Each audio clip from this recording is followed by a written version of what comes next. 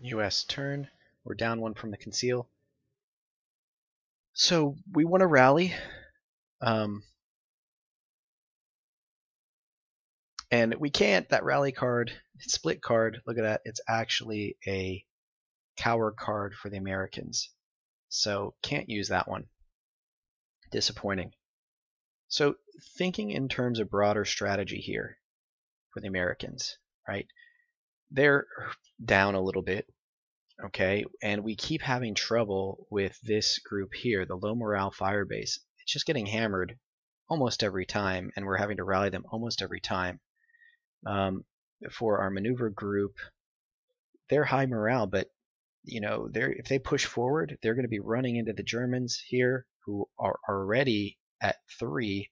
So we would have to um, close with them and destroy them to get to four, to range chit four, right?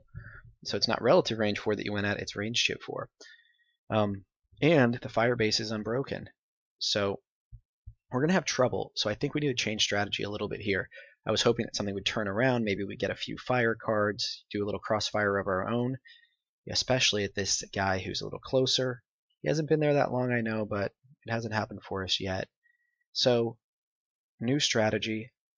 We're going to retreat, maybe lure him in to try to get to, you know, relative range four, and maybe transfer a few people to make our to you know strengthen our fire base again and hope that maybe you know they'll take the bait, try to get to relative range four, and we can take them out there, make it too tempting a target. And it is going to be tempting, I think, and dangerous for the Americans too, to try to reconsolidate this way. Transferring people, we saw that that can be disrupted. So, and even at relative range one, which the Germans will be at, they're going to have nine points of firepower, right? So they're not going to be helpless. But what's happening here isn't working. So it's time to try something different. We're probably about halfway through deck two, so about halfway through the game, assuming nothing else ends the game. So we're going to change tactics. Okay? And I'd, I'd be interested to hear other people's thoughts on what they would do in this same situation once your fire base is you know taking down a few pegs because it, it it's going to happen frequently you know all right so um, another option we have maybe before we move backwards do you see this movement card here this flank it says flank on the side flanking is interesting okay so remember how I talked about how uh, you know group A's kind of in a column with borders to the left and right. Group B, same thing. They don't cross sides really, but they have freedom of movement even laterally within their column, so to speak, within their boundaries. Well, with a flank card, you play it sideways and declare that you're flanking, right? Okay. I mean, flank is to the side, right? Is what it means.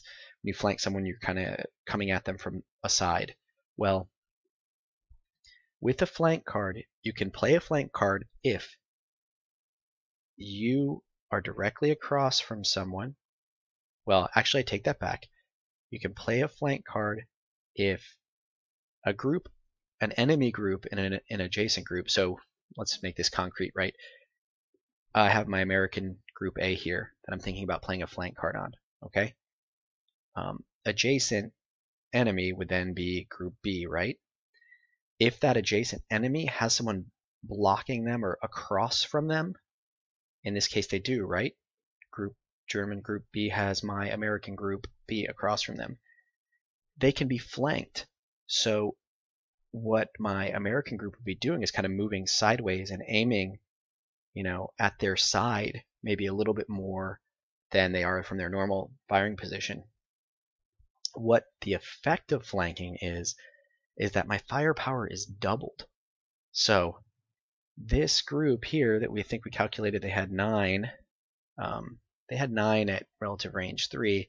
At relative range two, they have one, two, three, three. So they'd be at a grand total of six. but they, if they were to flank, they would have a six firepower. So if we were closer, that might be something that's a little more effective to do. Um, here, it doesn't look like it would matter. So, but something that crossed my mind. Sometimes you can muster kind of a surprise flank attack, and it's um, more powerful. But at six, I don't think it's going to do us any good. So we're going to fall back.